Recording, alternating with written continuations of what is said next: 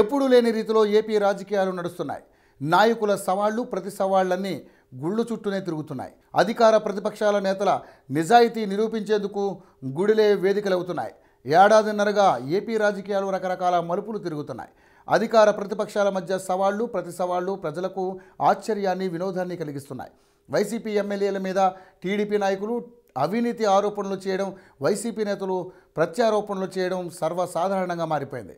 ఆరోపణలు నిజమని నమ్మించడం కోసం ఎదుటివారిని రెచ్చగొట్టడం కోసం ఆలయాల్లో ప్రమాణాలంటూ రక్తి కట్టిస్తున్నారు. తూర్పుగోదావరి జిల్లా అనపర్తి నుంచి కడప జిల్లా ప్రొద్దుటూరు వరకు ఇదే తంతు కొనసాగుతోంది. విజయనగరం జిల్లా రామతీర్థం శ్రీరాముని ఆలయంలో రాముడి విగ్రహం నుంచి శిరస్సు తొలగించడం జిల్లాలో సంచలనం రేపింది. ఈ సంఘటన జరగడం వెనుక నారా లోకేష్తో సహా టీడీపీ అగ్రనేతల హస్తం ఉందని వారి పాత్ర వెలికితీస్తామని విజయసాయిరెడ్డి చెప్పారు. విజయసాయి మాట్లాడిన కొద్దిసేపటికి నారా లోకేష్ ట్వీట్ చేశారు. తనపై దొంగల బ్యాచ్తో ఫేక్ ఆరోపణలు చేస్తున్నారని ముఖ్యమంత్రి జగన్ మీద మండిపడ్డారు. జగన్ను సింహాచలం అప్పన్న ఆలయానికి రావాలని ఛాలెంజ్ విసిరారు. లోకేష్ తనపై విజయసాయి చేసిన ఆరోపణలు పచ్చి అబద్ధాలని అప్పన్న ఎదుట ప్రమాణం చేస్తానని ఆరోపణలు నిజమని చెప్పడానికి నువ్వు ఆలయానికి రావడానికి సిద్ధమా అని సీఎంకు సవాల్ విసిరారు నారా లోకేష్. ఇక ప్రొద్దుటూరులో తెలుగుదేశం నాయకుడు నందం సుబ్బయ్య హత్యలో స్థానిక వైసీపీ ఎమ్మెల్యే పాత్ర ఉందని టీడీపీ ఆరోపిస్తుంది. ఎమ్మెల్యే రాచమల్ల ప్రసాద్ రెడ్డి మీద కేసు పెట్టాలని కూడా టీడీపీ నేతలు సుబ్బయ్య భార్య డిమాండ్ చేస్తున్నారు. అయితే ఆ హత్యతో తనకు ఎలాంటి సంబంధం లేదని ఎమ్మెల్యే స్పష్టం చేస్తున్నారు. సుబ్బయ్య హత్యతో సంబంధం లేదంటూ నందవరం చౌడమ్మ ఆలయంలో ప్రమాణం చేశారు. తన అనుచరులతో సహా ఆలయానికి వచ్చిన ప్రసాద్ రెడ్డి తన నోటితో గాని కంటితో గాని సుబ్బయ్యను హత్య చేయాలని చెప్పలేదని ప్రమాణం చేశారు. అతని హత్య జరుగుతుందని తనకు ముందుగా తెలిస్తే జరగకుండా ఖచ్చితంగా కాపాడేవాడినని చెప్పారు ఆయన. తనకు చౌడమ్మ తల్లి అంటే ఎంతో విశ్వాసమని అందుకనే అక్కడ ప్రమాణం చేస్తున్నట్లు చెప్పారు వైసీపీ ఎమ్మెల్యే రాచమల్ల ప్రసాద్ రెడ్డి. ఇటీవల కాలంలో కోట్ల కంటే ఆలయాలనే నమ్ముకుంటున్నారు నాయకులు. ఇదివరకు ప్రమాణం చేయాలంటేనే ఎవరైనా భయపడేవారు. గుడిలో ప్రమాణం అంటే అస్సలు ఒప్పుకునేవారు కాదు. ఇప్పుడు ప్రతిదానికి దేవుడిని మధ్యలోకి తెస్తున్నారు.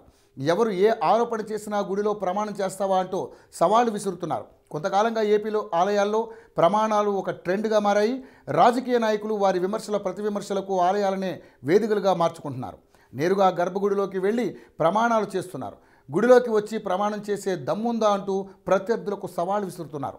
వీటికంటే ముందు అనపర్తి విశాఖ నగరాల్లో రెండు విచిత్రమైన సవాళ్ళు ప్రమాణాలు ఏపీలో జరిగాయి. ఏపీ పాలనా రాజధానిగా మారుతుందన్న వార్తలతో విశాఖ రాజకీయాలు వేడెక్కాయి. నగరంలో ఆక్రమణలకు గురైన స్థలాల్ని ప్రభుత్వం చట్టపరంగా స్వాధీనం చేసుకుంటోంది.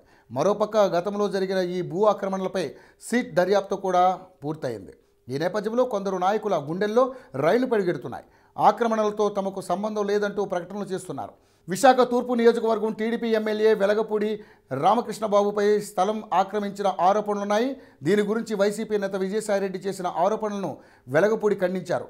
తనపై చేసిన ఆరోపణలు అసత్యాలని సాయిబాబా ఆలయంలో ప్రమాణం చేస్తారని విజయసాయి అక్కడికి రావాలని రామకృష్ణబాబు సవాల్ విసిరారు. ప్లేసు టైము కూడా వెలగపూడి ఫిక్స్ చేశారు. అయితే ఈ సవాల్ను వైసీపీ ఎమ్మెల్యే గుడివాడ అమర్నాథ్ స్వీకరించారు. టీడీపీ ఎమ్మెల్యేపై విజయసాయి చేసిన ఆరోపణలు రుజువు చేస్తామని అవి నిజం కాదని ప్రమాణం చేయాలని ప్రతి సవాల్ చేశారు. టీడీపీ ఎమ్మెల్యే చెప్పిన టైంకే సాయిబాబా ఆలయానికి వెళ్ళారు. సాయిబాబా ఆలయంలో వైసీపీ ఎమ్మెల్యే గంటపాటు వెయిట్ చేశారు. టీడీపీ ఎమ్మెల్యే రాకపోవడంతో ఆయన ప్రమాణం నుంచి వెనక్కుపోయారని కామెంట్ చేశారు. ఇకపై టీడీపీ ఎమ్మెల్యేల సవాళ్ళను తాము స్వీకరించబోమని చంద్రబాబు లేదా లోకేష్ సవాళ్ళనే స్వీకరిస్తామని చెప్పారు Gudivada Amarnath.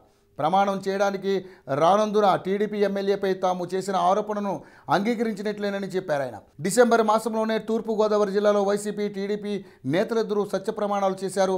YCP MLA Satti Suryanarayana Reddy TDP మాజీ ఎమ్మెల్యే రామకృష్ణారెడ్డి సవాళ్ళు ప్రతి సవాళ్ళతో అనపర్తి నియోజకవర్గంలో ఉద్రిక్తత పరిస్థితులు ఏర్పడ్డాయి. ఎమ్మెల్యే మాజీ ఎమ్మెల్యే పరస్పరం అవినీతి ఆరోపణలు చేసుకుని బెక్కవోలు గణపతి ఆలయంలో ప్రమాణాలు చేసేందుకు సిద్ధమయ్యారు. పెద్ద ఎత్తున వారి అనుచరులు చేరడంతో బెక్కవోలు కూడా ఉద్రిక్తత పరిస్థితులు ఏర్పడ్డాయి. ఇద్దరు నాయకులు గర్భగుడిలో విగ్రహానికి చిరోపక్క నిలబడి తమ తమ ఆరోపణలకు కట్టుబడి ఉన్నట్లు ప్రమాణాలు చేశారు.